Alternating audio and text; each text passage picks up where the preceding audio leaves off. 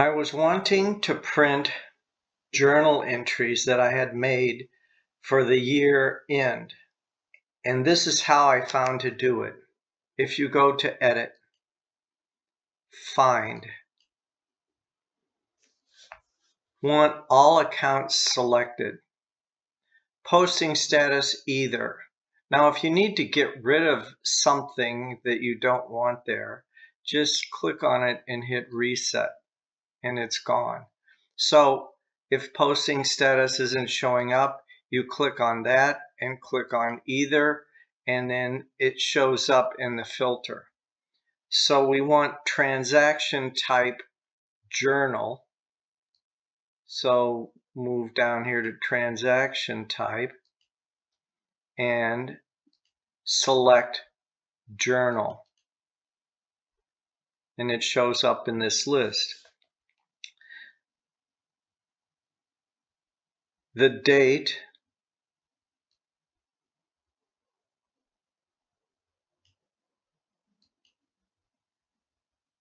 let's just say we wanted all the entries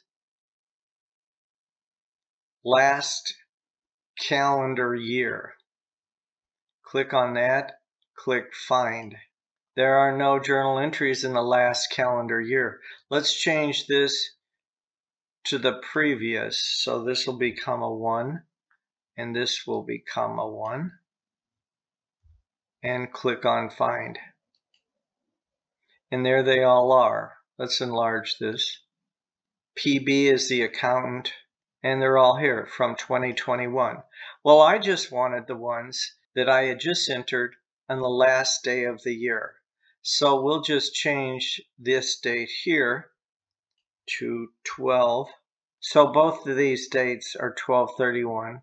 Click on find and I have all the general journal entries. These are all my adjusting entries on the last day of this year and they all show up. Now I wanted to verify with my accountant that these are correct as I understand what he wanted to do. So I go to report and here they all are in the form of a report. And I can email this report as an Excel or PDF. I can print it and save it as a PDF. So that's how you do it for a day, a year, or any period of time. As the default, it comes up as all. And you can see all of the general journal entries and it's actually doing it on this report without having going to go back to the find menu here.